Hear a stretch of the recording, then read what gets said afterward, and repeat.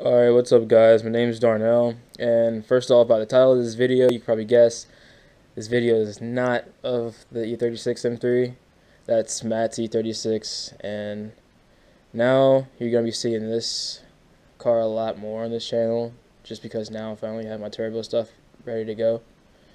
But next week, the turbo should be going on.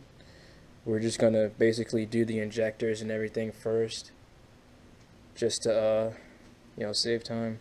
Alright, I'm going to give you guys a little walk around of the car really quick. It's a little bit shit there, but. Uh.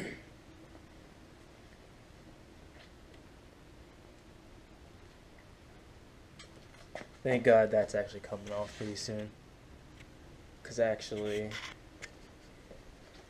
we're taking off. The exhaust right now. Try to get an extra light. Alright, so yeah, now we're under the car. You can see the exhaust. It's pretty fucking shitty. That's where it came from. You can see where I scraped my exhaust a couple times. Alright, so that's about it for the outside. I forgot to mention it's on Yonaka racing coilovers. That's the last thing. That's about it. But I'm going to start it up, let it warm up a little bit. It's open header right now, so it's going to sound so ricey. But, yeah, I don't even care.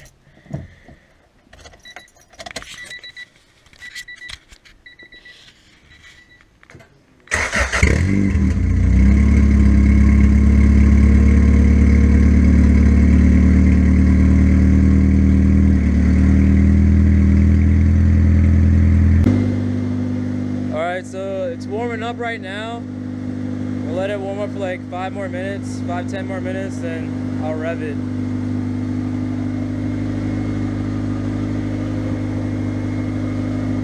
Oh yeah, the PVC piping's kind of ghetto too. oh yeah, while it's warming up, I forgot to show you guys. I also have this. My air and fuel ratios. It's gonna come in handy for the turbo. Alright, it's a little warmed up now, so I'm gonna put the camera under. Listen.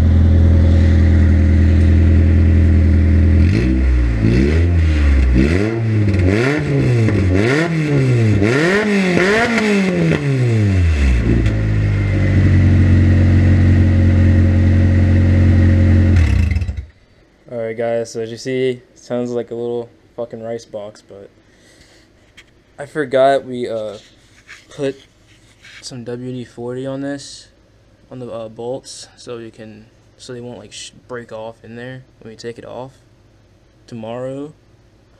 And kind of start smoking so. It scared me for a second but it's all good. I forgot about that.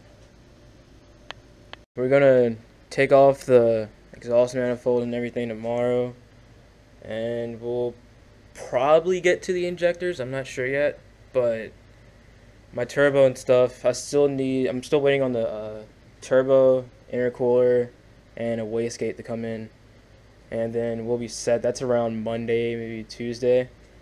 So hopefully we can get started then. Alright, so it's the next day, and I'm about to take my exhaust manifold off. I'm gonna let my dad do it because I don't want to strip any of these bolts. Don't want to fuck any of that up. Alright, so I came out here to talk, but we have the heater on in there, so it's too loud. But this is the manifold that's going on, and this is the turbo that was going to go on the car, but instead we ordered a bigger and newer one, so that should be here, like I said, Monday or Tuesday.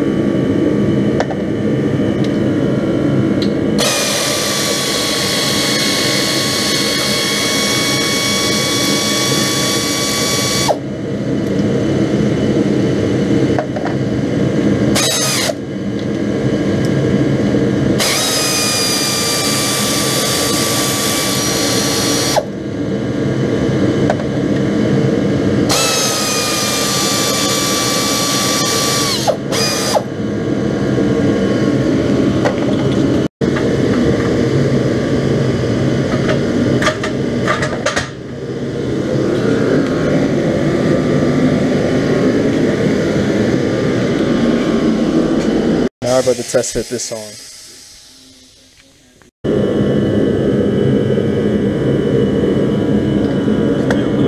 Should I close that pipe?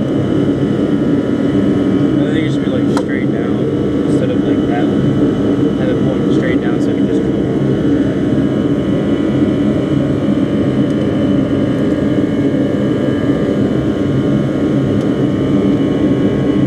It's up against the other pipe. It's a little bit up against the motor here. Alright, so in the last clip you guys saw, uh, we test fitted the old turbo on, and that didn't really fit because you guys saw that it was hitting about here. But then my wastegate came, and I figured out that this is the wrong wastegate for this manifold. So uh, I got a new manifold now, and that should be here on Wednesday. So that'll be in part two of this video. And but for now, here's a little comparison of the old turbo versus the new turbo. Old new old turbo, new turbo. Garbage. Garbage, not garbage. I think this one's like a 40 trim or maybe a 50 trim turbo, and this is this for sure is a 60 millimeter turbo. It's a TX 6062. So what we did was we test fitted this turbo on once we got once that came in and it fits but we might need to take out the AC but we don't know until we get the new headers so we're not we're not going to know exactly where it sits.